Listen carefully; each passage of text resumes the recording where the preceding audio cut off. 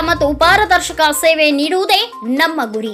ಗ್ರಾಮಸ್ಥರ ಮೆಚ್ಚುಗೆಗೆ ಪಾತ್ರವಾಗುವಂತೆ ಅಧಿಕಾರ ನಡೆಸುತ್ತೇವೆ ಎಂದು ನೂತನವಾಗಿ ಇಟಗಿ ಗ್ರಾಮ ಪಂಚಾಯಿತಿ ಅಧ್ಯಕ್ಷ ಸ್ಥಾನಕ್ಕೆ ಆಯ್ಕೆಗೊಂಡ ಬಸವರಾಜ್ ಎಂ ಹಳ್ಳಿ ತಿಳಿಸಿದರು. ಇಂದು ನಡೆದ ಕುಕನೂರು ತಾಲೂಕಿನ ಇಟಕಿ ಗ್ರಾಮ ಪಂಚಾಯಿತಿ ಅಧ್ಯಕ್ಷ, ಉಪಾಧ್ಯಕ್ಷರ ಚುನಾವಣಾ ಪ್ರಕ್ರಿಯೆಯಲ್ಲಿ ಒಟ್ಟು ಹದಿನೈದು ಸಂಖ್ಯೆಯ ಸದಸ್ಯರನ್ನ ಹೊಂದಿದ್ದು, ಅಧ್ಯಕ್ಷರಾಗಿ ಬಸವರಾಜ್ ಎಂ ಹಳ್ಳಿ ಮತ್ತು ಉಪಾಧ್ಯಕ್ಷರಾಗಿ ಬಸವರಾಜೇಶ್ವರಿ ಕಂತಿ ಅವಿರೋಧವಾಗಿ ಆಯ್ಕೆಯಾಗಿದ್ದಾರೆ ಎಂದು ಕುಕನೂರು ತಹಸೀಲ್ದಾರರಾದ ಚಿದಾನಂದ್ ಗುರುಸ್ವಾಮಿ ಘೋಷಣೆ ಮಾಡಿದರು.